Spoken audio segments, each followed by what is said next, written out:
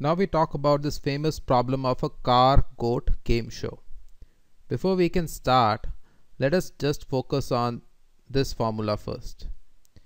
So you can write probability of E1 intersection E2 intersection E3 as probability of E1 intersection E2 times probability of E3 given E1 intersection E2. So this just follows from our formula that probability of a intersection B is probability of A given B times probability of B. Here you are putting B as E1 intersection E2 and A as E3. So B is E1 intersection E2 and A is E3. So then again instead of E1 intersection E2 you can write probability of E1 times probability of E2 given E1 again using conditional formula and you copy this term as such down here.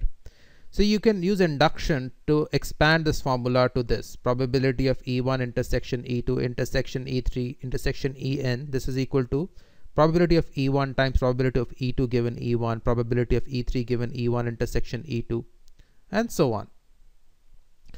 So now let us come to the example proper. So let us now talk about the car goat game show. So the game show has three doors. Door 1, door 2, door 3. So behind two doors there is a goat and behind one door there is a car. So the contestant is asked to pick up the door. So contestant could pick up say door 1 and the host then opens a door. He cannot open the door which the contestant has picked up. He can open any other door. So he could open door 2 or he can open door 3. He opens either of the door and shows the, him that there is a goat behind it. He will only open one door. Then he will ask the contestant if he wants to switch the door. So if the contestant picks the right door, that is the door with the car behind it, then the contestant takes the car home. Now, should the contestant switch the door after the host has opened the door for him? So let us work through the mechanics of the problem. So say case 1, contestant picks up door 1 and there is a car behind the door. Now what can host do? Host cannot open door 1, he can only open door 2 or door 3. So he opens either one of the door. So he can choose either of the door with probability half, open it and show a goat behind it. Now in this case, the contestant, if he switches the door, he will lose by probability half. Or he could win by probability half in case the car is behind the other door. On the other hand, if the contestant chooses door 2 and the car is behind door 1 then the host does not have any option. He cannot show the door where the car is because then the contestant will just simply choose the door where the car is. So he has no choice left. He cannot open door 2 because contestant has chosen the door.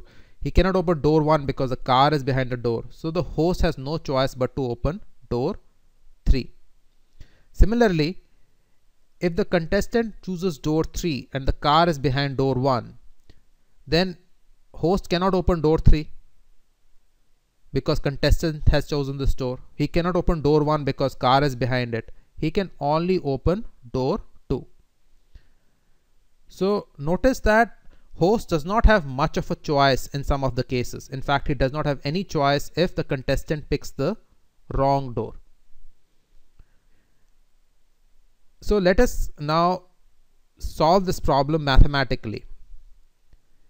So say di is the contestant picks door i.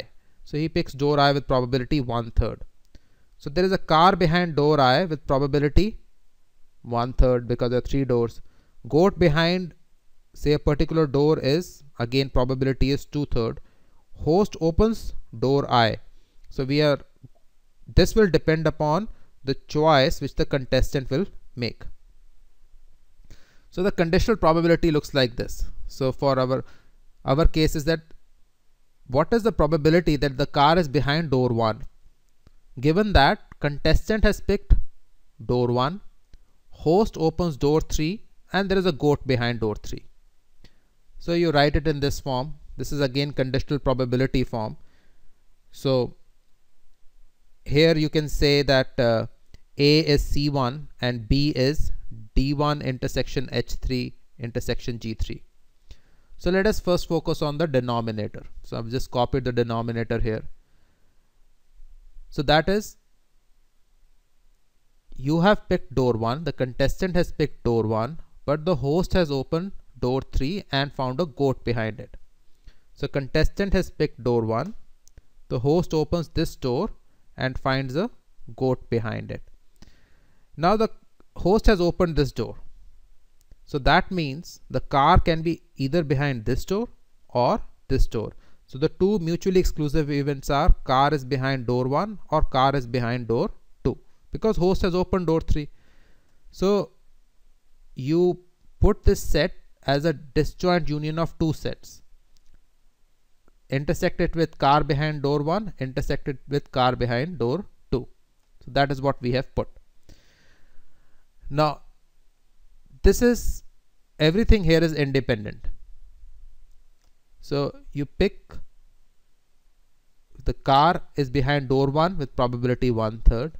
You pick door 1 with probability one third. So let us write this down. This is probability of c1 times probability of d1 times probability of h3 times probability of g3 so car is behind door 1 is probability one third. You could pick door 1 with probability one third. Now host picks door 3 he has probability of half. He could have picked this door or this door because car is behind door 1 in this case. We have fixed car behind door 1 so he could have picked up either of those two doors. So probability is half here. And there is a goat behind either of these two doors. So there are two goats and uh, the goat could be behind either of the doors. So you have half here. So this is case this is this part. For the second part For the second part you have C2 here say D1 here. I'm just using this one. Host 3 G3 so again car could be behind door 2 with probability one third. You could pick up door 1 with probability one third now we focus on the host. Now the host if you pick up door 1 but the car is here. You have picked up this door the car is here. The host has no choice but to open this door. He cannot open the door which you have chosen. He cannot open the door behind which there is a car. He has to choose this door. This door can only be chosen with probability 1 so that is what is probability 1 right here probability that there is a goat behind door 3 is half because the goat could be behind door 1 and door 3 so this is half. Multiply it out add it you get 1 by 12 let us now focus on the numerator. So probability of car behind door 1 is one third. Probability that you chose door 1 given that there is a car behind door 1 is also one third because you do not know where the car is. So this presence of conditioning on the information of having a car has no impact because you do not even know where the car is. So d1 is still one third. Probability that the car is behind door 1 and you have picked up door 1 so this formula I have taken from here. So I've just copied this formula down here so the goat is behind the door. So you have picked up C1 and D1 so you picked up door 1 car is behind it. So the probability of having a goat is half between either two of these. And again you know host could pick up either of these two doors. They both have goat behind them. So this is again half. Multiply it you get 1 by 36 so numerator you put 1 by 36 denominator you put 1 by 12 and you get probability as one third. So if you switch the door, you will win by two thirds. So if you stick, you win by probability one third. If you switch, you win by probability two third because two third plus one third is one. And this intuitively also makes sense because if you pick the wrong door, you do not give host much of a choice. The host has no option but to open a particular door which does not have the car behind it. He cannot open the door which has the car behind it. And that happens two times. If you pick the wrong door, you do not leave host any choice. And you can pick the wrong door twice. And therefore, if you do not leave host any choice in those two cases, switching helps. Anyway, we have belabored upon the point by solving it here. Now, in order to end the problem, let us just say in case host also does not know where the car is. Now host has no idea where the car is. The only condition given to him is that you will not open the door which contestant picks out. The game show conductors have not even told the host where the car is. So in case he does not know, then we can modify the denominator again. So now we will again use this formula here for this. So probability of picking door 1, the contestant will pick door 1. This is one third probability there is a goat behind door 3 the host picks up door 3 and there is a goat behind it. This is also one third because host has no idea. So it could be behind any door. So one third. And probability that host picks up door 3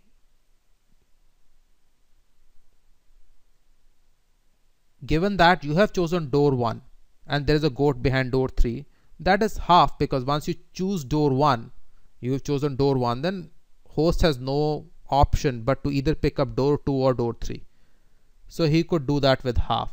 You multiply it you get 1 by 18 in this case you modify this.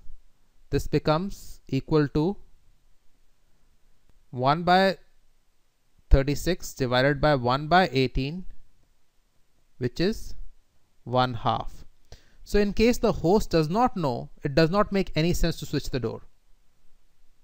So if host himself does not have any idea, he's opening the door randomly. Obviously he could open the door with the car behind it. But if the host is opening the door randomly also, then it does not make any sense to switch. But um, we have to assume that host knows where the car is.